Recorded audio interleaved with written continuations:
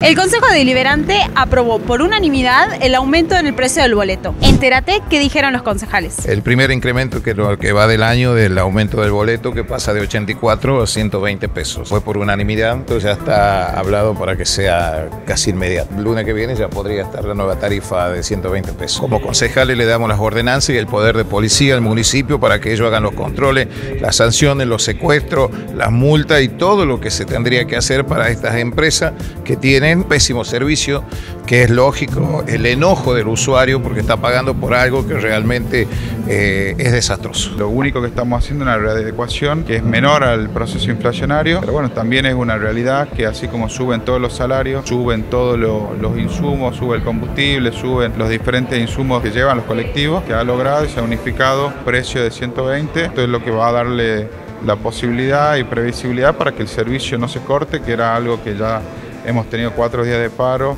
y eh, se aproximaban diferentes medidas de fuerza.